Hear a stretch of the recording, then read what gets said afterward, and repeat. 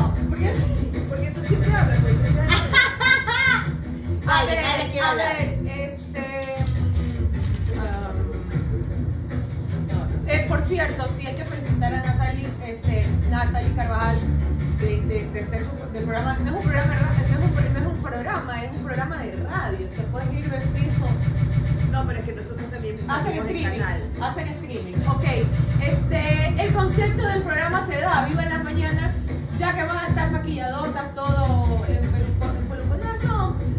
programa se da. Este, me parece que pues Santi está refri eh, eh, está igual está gente. está refriteando las notas de hackers. O sea, está emitiendo en su programa las notas de hackers. eh, lo cual sí me parece que es un poco que está perdiendo la esencia de tu, pro- de tu programa que lo llevó a tener muchísimo éxito, muchísimos auspiciantes y a ganar mucho dinero.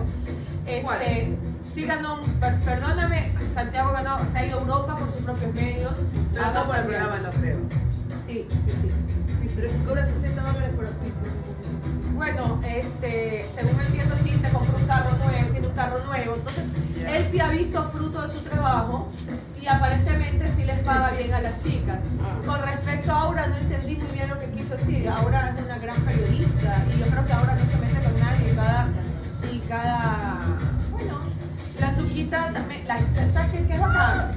Tienes, deja que tienes nerviosa para uñas. La Suquita, como un buen jefe, que es siempre va a defender a su, a su equipo y eso la hace eh, la hace grande y, y también oye el azúcar no para en todo el día brother es una mujer súper trabajadora Es y que evoluciona y que evoluciona y siento que Santiago sí hasta sí está como que no Que está me dando dice la mejor chicharra, Jaume, que me dice la chicharra que no te desvíes del tema, que el tema es Santiago y Aura. Y ya estás como la Galvez, que solo defendiendo a la Natalie Carvajal. no que que, que esa- este ya no quiero hablar